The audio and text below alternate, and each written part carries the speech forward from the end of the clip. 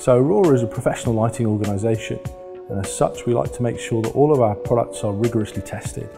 We're very fortunate that we've invested heavily in our own testing facilities both here in the UK and also in Asia so we can make sure that all of the products that we bring to market are fully compliant with all of the regulations and standards that apply to different light sources.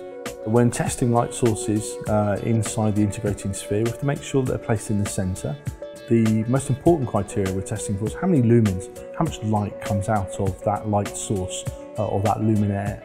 And um, we're also testing for RA, uh, that's colour rendering, colour rendering index. Now the higher an RA is, the better it is. The lower the index is, the, uh, the worse the light quality is. That's the recognition of colour underneath that, uh, underneath that light source.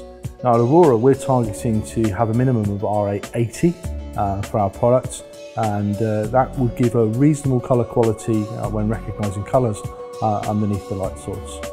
So when we're testing products, we test a number of samples to make sure that uh, we have uh, consistent results uh, and we, we check products from different batches to make sure that we haven't just seen one point of production and we, we test over a time period as well. So we're constantly benchmarking to make sure that the colour quality, the lumen output is consistent uh, and that the published results that we've issued uh, are being maintained.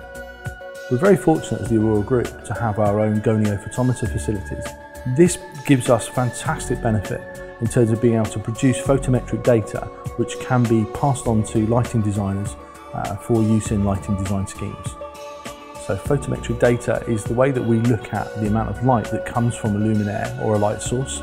Um, we put that into now software programs and the software can then actually calculate how many luminaires, what spacing is required between those luminaires uh, to give a desired amount of light uh, inside a space. So with all of the testing facilities that we have both here in the UK and also in Asia, we can be absolutely certain that the products that we're putting on the market meet all of the claims that we need, meaning that our customers can be absolutely satisfied with every Aurora product they purchase.